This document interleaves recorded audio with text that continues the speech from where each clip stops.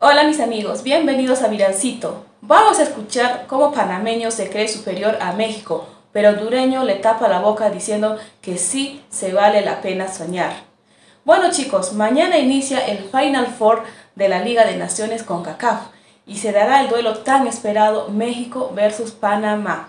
Vamos a reaccionar a un pequeño fragmento del canal de Feisal, todos los créditos para el canal Feisal.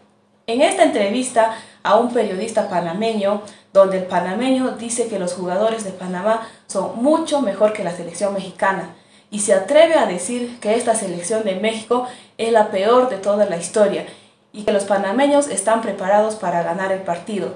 Sin más que decir, escuchemos. Vamos a hablar ahorita más tarde, pero hay mucha ilusión, mucha expectativa de este partido. Eh, a mi parecer, creíamos que en la Copa Oro era el momento de que Panamá daba ese golpe eh, sobre la mesa contra México, pero ahora es aún más. Creo que hay más motivos para pensar que Panamá le puede ganar a México y llegar a, su primera final en la Liga de Naciones. Bueno, eh, Jan, la, la, final contra México fue apretada, fue un duro golpe, pero tan lejos no estuvieron tampoco, ¿verdad? Claro Sí, sí, y al final se, se termina perdiendo por un error en defensa eh, y creo que la defensa ha mejorado mucho con la llegada de José Córdoba. En ese entonces recordemos que él se, estaba lesionado, se recuperó eh, casualmente para esta Liga de Naciones que empezó jugando contra Martinica y ahí se ha adueñado la titular. Así que creo que en defensa hay un buen, buen porte de jugadores que quizá no vaya a, pesar tanto de que tú estés enfrentándote a un Julián Quiñones, a un Henry Martin, a un Santi Jiménez, guardando cada proporción, claro. Bueno, e-, ese es el tema. Esa, esa selección de México jugó eh, no, con su, no, con su equipo estelar, vamos a decirlo. Sí, sí, eh, claro. yo creo que México no vive, en cuanto a nombre se refiere, no vive su mejor momento eh, posible de la historia. De hecho, yo creo que es el de los peorcitos momentos que he visto en selecciones de México en cuanto a jerarquía se refiere en los últimos años. Eh, pero se podría decir que México te ganó con un equipo alterno, ¿verdad? Eh, así que no, no, no, es que quiera eh, no es que quiera menospreciar ni mucho menos a la selección de Panamá que tanto me gusta. Lo que te quiero decir es que a veces a México le, le alcanza incluso para ganarnos a selecciones centroamericanas que andamos en buen momento y aún así nos cuesta, ¿me entendés? Digo, igual la selección de México, sabemos, tú bien lo dices, no tenía su, su, primer equipo, pero tampoco es que la selección de México atraviese un buen momento, porque ese partido contra Honduras te dice mucho, que Honduras empezó ganando 2 eh, a 0 en la serie y luego México sufriendo y llegando al minuto 90, que hubo mucha polémica en ese partido, pues se termina llevando la serie, pero en los últimos años eh, esa, esa distancia se ha reducido de gran manera y, clara muestra de ello es el historial. Si tú te pones a ver los últimos cuatro partidos entre Panamá y México, si bien es cierto, les favorece a México, eh, la distancia es mínima, uno por cero, uno por uno. Entonces, no sé si es que México, como tú dijiste, está pasando por un momento de que está bajando o que al igual se ha encontrado con otros países que están subiendo su nivel. Hablando de eso, porque mencionaste el partido contra Honduras, eh, el partido contra Honduras te genera algo, viendo cómo se dio la serie entre Honduras y México. En Panamá, decime vos la sensación que estás teniendo, decímelo sin cassette, decime realmente lo que estás pensando. Sí, te reís porque yo te conozco. no, no, eh, decime qué piensa en este momento el panameño promedio, el panameño de a pie, que sale a trabajar, pero que está eh, con la mente pensando en ese partido, eh, ¿qué, qué, qué, sensación tiene el periodismo de Panamá?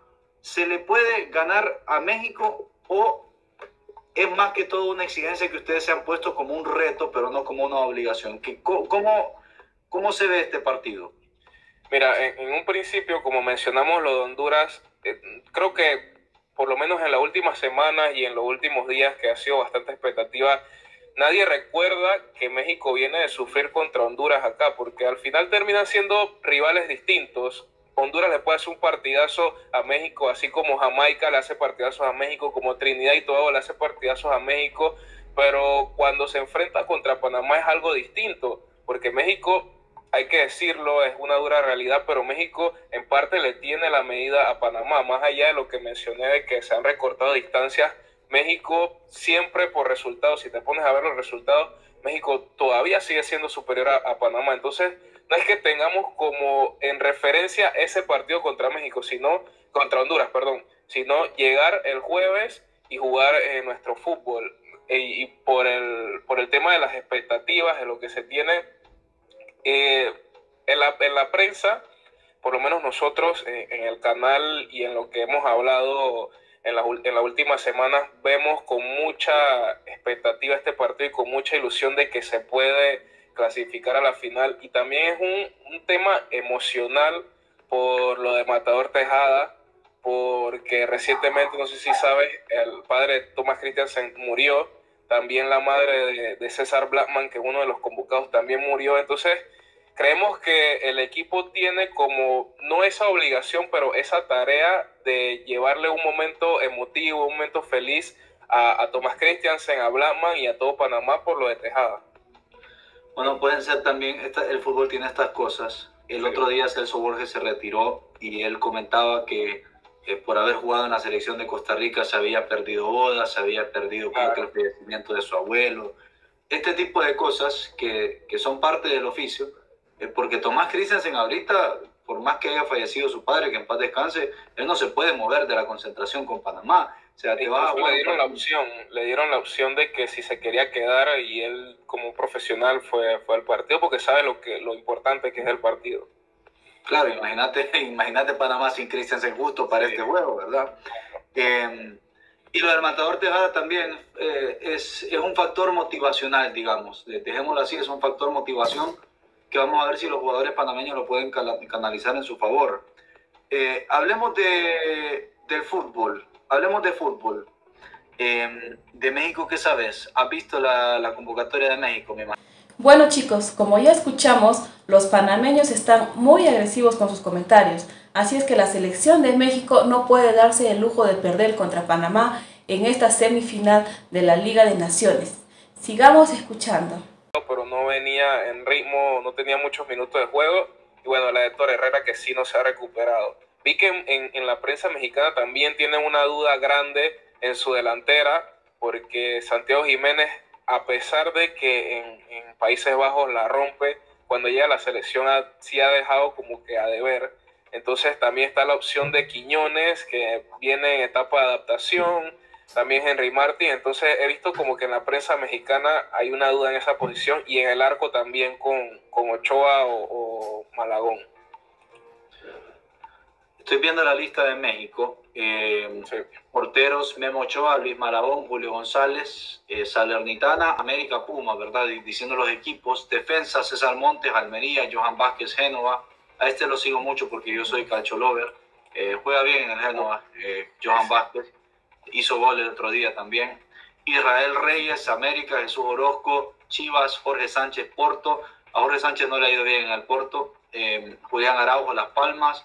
Jesús Gallardo Rayados, Gerardo Arteaga Rayados, mediocampistas Edson Álvarez West Ham, Luis Romo Monterrey, Luis Chávez Dinamo de Moscú, Carlos Rodríguez Cruz Azul, Eric Sánchez Pachuca, Roberto Alvarado Chivas y delanteros Uriel Antuna Cruz Azul, Julián Quiñones América, gran jugador Quiñones, Orbelín Pineda Alca de Atenas, y Lozano PSB, Henry Martín América y Santi Jiménez Feyenoord. Eh, es lo que te decía de la lista de México que obviamente yo siempre, siempre voy a respetar a México, ¿verdad? México es México, pero dentro de CONCACAF. Pero em, eh, la verdad es que yo creo que esta es la peor lista en cuanto a nombres. Como antes, sí, sí, claro. En cuanto a nombres y jerarquía individual, yo creo que nunca vi una lista de jugadores mexicanos tan poco conocidos. Aquí hay jugadores mexicanos que no sabemos, el, el, que no es, obviamente yo sí sé quién son, pero el que no está muy empapado no sabe quién es, quiénes son. Y, y, en la semana yo mencionaba algo que guardando las diferencias y proporciones de las ligas y competiciones en lo que juega cada jugador, que a mi parecer individualmente, jugador por jugador, los panameños llevan en mejor actualidad que los mexicanos, porque si la mayoría, se puede decir, muchos de ellos juegan en las mejores o digamos que las mejores ligas de Europa, si guardamos las proporciones de CONCACAF, digamos que es lo que puede optar un jugador de CONCACAF jugar donde ellos están jugando, pero ya no están siendo protagonistas como antes. No están, no se habla mucho de Son Álvarez, no se habla de que si Memo Ochoa hizo no sé cuántas atajadas, Johan Vázquez está siendo titular con Genoa, pero el que no lo sigue, como bien tú dices, no escucha mucho de, Johan Vázquez. Entonces, individualmente me parece que el, nivel de los, de los panameños, digamos que llegan en un nivel superior al, individualmente al de, los, al de los mexicanos. O sea, sacando a, yo te saco de, de, ese costal a Santi Jiménez, por supuesto, de, gran actualidad, pero más debido respeto a México, es que em, yo vi listas mexicanas donde estaba Rafa Márquez, donde estaba Pavel Pardo, donde estaba Andrés Guardado. Eh, yo vi listas mexicanas con muchísimo más jerarquía que esto, muchísimo más jugadores que vos sabías quiénes eran y cuál era su peso, donde estaba Andrés Guardado. Eh, yo vi listas mexicanas con muchísimo más jerarquía que esto, muchísimo más jugadores que vos sabías quiénes eran y cuál era su peso eh, específico internacionalmente hablando. Eh, quizás la, una ventaja que podría tener Panamá en su favor es que esta es una selección mexicana que sigue en construcción, este es un equipo construyéndose, no es un equipo ya hecho. Entonces, tal vez de ahí puedes eh, soñar con algo. Yo sigo creyendo que México es favorito, que México tiene más posibilidades de ganar y más, más argumentos para ganar que Panamá, porque encima de eso va a jugar en un estadio repleto de mexicanos, eh, por un montón de razones. Pero alguna chance hay de soñar eh, si, si, Panamá está en su día, si no cometen errores, eh, errores puntuales, errores eh, infantiles. Yo creo que Panamá, sin tener el favoritismo, yo creo que Panamá puede soñar. ¿Coincidís? Sí, sí puede soñar y, y, me parece que es más por el trabajo que ha hecho Christiansen. A mi parecer el funcionamiento en sí de Panamá es mejor que el de México, pero México tiene algo de que a pesar de que lo que mencioné de que sus jugadores pueden no estar en, un buen nivel individualmente, puede pesar la experiencia de ellos y que ellos se están fogueando eh, día a día con jugadores de, de, las mejores ligas de Europa y que es lo que pasó en la Copa Oro. México no fue superior en la final de la Copa Oro, pero llegó Santi Jiménez y porque él se está codeando allá en Países Bajos, él llega y con una individualidad, con una genialidad se, se crea y se arma el gol él solo. Ese gol es producto para mí de dos cosas. Primero, de la calidad de la, calidad de un jugador que está en un gran momento en Europa como Santi Jiménez y, y después también de, de, de, que había entrado de cambio. Estaba fresco Santi Jiménez, mientras que eh, Cummings había estado corriendo todo el partido. Pobre, pobre Cummings, un señor de treinta y pico de años corriendo contra un muchacho de veinte y pico que encima el muchacho acaba de entrar, ¿verdad? Eh, a eso quería ir también, eh, Jan. Yo creo que siempre es más conveniente para, para una selección como Panamá, si lo vas a ganar, trata de ganarlo en los 90. Porque en los 120, selecciones como México te ganan por tener mayor fondo de armario, porque tienen más plantel y con los cambios te marcan una diferencia. ¿Coincidís conmigo? Sí, sí, claro, y, acá la contundencia de, Panamá va a ser clave porque recuerdo también esa final de Copa Oro que en los primeros cinco minutos Alberto Quintero tiene una sola enfrente del marco que se la termina tapando Memo y después pasa eso de lo que tú mencionas, al final un jugador te puede solucionar el partido porque ingresando desde el banco tiene mucha más profundidad Jaime Lozano que, que Tomás Christiansen, a pesar de que Tomás Christiansen sí tiene mucha calidad en el banco no puedes comparar eh, el, jugador por jugador, nombre por nombre y el recorrido que tiene, al final se puede comparar lo que tiene Panamá con lo que tiene México. Bueno mis amigos, ¿cuál es tu pronóstico para este encuentro? Ya que hay que tener en cuenta que las probabilidades dicen que Panamá se lleva esta victoria, pero a pesar de eso la selección de México tiene que lucharla y darle con todo contra Panamá y sí o sí ganar esa Liga de Naciones, porque de lo contrario, pues casi casi estaría con un pie afuera Jimmy Lozano. Chicos, estén atentos a este encuentro para alentar a sus selecciones y déjame saber tus impresiones en la cajita de comentarios. No olvides suscribirte a Viralcito y darme like.